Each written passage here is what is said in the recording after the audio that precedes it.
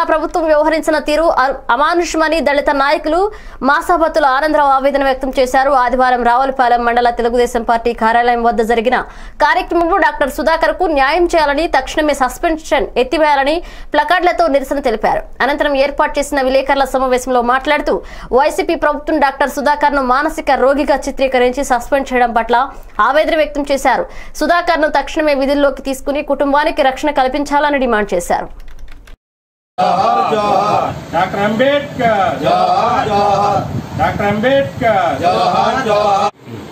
ఈరోజు విశాఖపట్నంలో డాక్టర్ సుధాకర్ గారి మీద జరిగిన దాడిని నిరసిస్తూ కొత్తపేట నియోజకవర్గంలో శ్రీ బండారు సత్యానందరావు గారు ఇచ్చిన పిలుపు మేరకు మరి దళిత నాయకులమైనటువంటి మేము ఈ విషయాన్ని తీవ్రంగా ఖండిస్తూ డాక్టర్ గారి యొక్క ప్రాణాలకు ప్రాణహాని ఉందనేసి ఆయన ఆందోళన చెందుతున్న చెందుతున్నారు.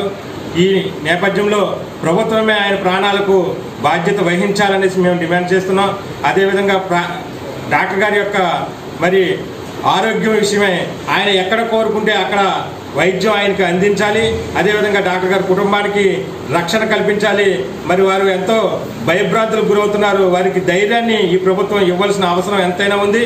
అదేవిధంగా ఈ ఈ ఈ సంఘటనకు బాధ్యులైనటువంటి ప్రతి అధికారిని మీ దోషులుగా శిక్షించి వారి మీద ఎస్సీ ఎస్టీ కేసులు నమోదు చేసి సరైన మరి శిక్ష పడేటట్లుగా ఈ ప్రభుత్వం చర్యలు తీసుకోవాలనేసి కోరుతూ ఈ ఉద్యమాన్ని ఎంతటితో ఆపేది లేదు. డాక్టర్ గారికి న్యాయం జరిగే వరకు కూడా రాష్ట్రమంతా దళిత సంఘాలు దళిత నాయకులు ఏకమై మరి ఆయన ముందుండి ఆయనకు న్యాయం జరిగే వరకు పోరాడతామనేసి ఈ సందర్భంగా మేము తెలియజేస్తున్నాం ఈరోజు రాష్ట్ర తెలుగుదేశం పార్టీ కొత్తపేట నియోజకవర్గం ఇన్ఛార్జ్ బండారు సత్యానంద గారి పిలుపు మేరకు మొన్న నెలలో జరిగిన డాక్టర్ సుధాకర్ గారి విషయంలో ఆ విషయం గురించి గత నెల రోజులుగా సుధాకర్ని సరైన వైద్యం చేయించకుండా అతను మానసికంగా హింసిస్తున్న ఈ ప్రభుత్వంపై కఠిన చర్యలు తీసుకోవాలని అలాగే దానికి ఎవరైతే బాధ్యులు ఉన్నారో వాళ్ళందరినీ శిక్షించాలని వారిపై ఎస్సీ ఎస్టాసిస్ కేసు పెట్టి వాళ్ళందరినీ కూడా నిందించాలని